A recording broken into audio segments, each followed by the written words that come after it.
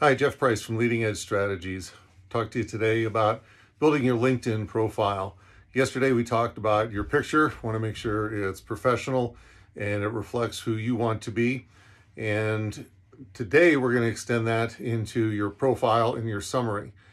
Really what it comes down to is who do you want to be portrayed as?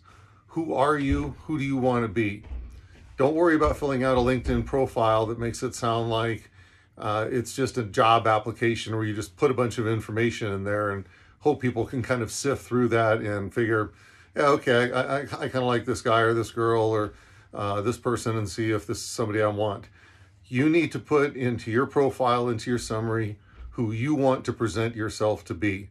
So I want you to think about that today, and tomorrow we'll pick it up with some more specifics. Thanks and have a great day.